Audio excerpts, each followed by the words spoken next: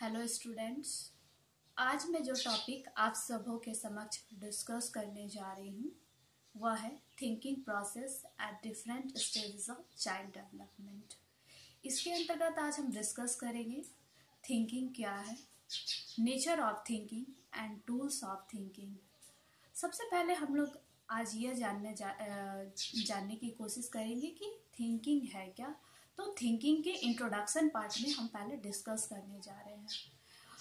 जैसा कि हम लोग सभी जानते हैं कि मनुष्य इस संसार का सर्वाधिक सर्वश्रेष्ठ प्राणी है।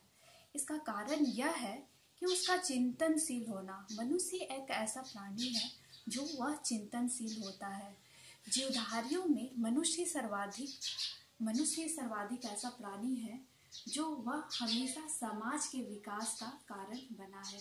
मनुष्य की चिंतन शक्तियों का चिंतन शक्तियों के विकास का परिणाम ही यह है कि आज हमारा समाज इतना डेवलप कर गया, हमारा राष्ट्र इतना डेवलप कर गया और समाज तथा राष्ट्र के प्रत्येक व्यक्ति के विकास में वह सहायक हो पाया है।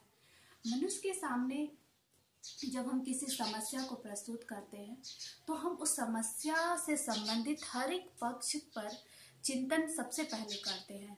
चिंतन करते हैं। चिंतन करने के पश्चात हम उस समस्या का समाधान ढूँढने की कोशिश करते हैं।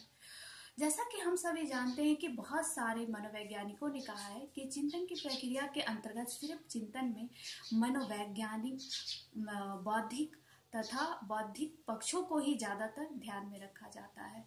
लेकिन अब हम कह सकते हैं कि चिंतन की प्रक्रिया के अंतर्गत बौद्धिक के साथ साथ हमारा कलात्मक तथा भावात्मक पक्ष को भी ध्यान में रखा जाता है। जैसा कि हम आप आप सभी भी बोलते हैं, हम लोग भी बोलते हैं कि किसी कार्य को करने से पहले सोचो। तो जो किसी कार्य को करने से पहले सोचने की जो हम बात करते हैं तो उस पर हम चिंतन और मनन करते हैं।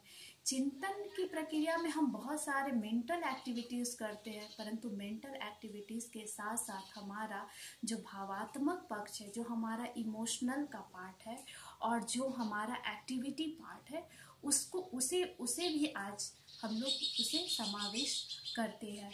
जैसे कोई एग्ज़ाम्पल के लिए, कोई कविता, कोई कहानी, किसी प्रकार का कोई हम आविष्कार करते हैं तो ये सब भी हमारा जो पार्ट है, चिंतनशील का ही पार्ट है। हम इस पर सोचते हैं, किसी कार्य को करने से पहले सोचते हैं देन उसको हम एग्जीक्यूट करते हैं, किसी कार्य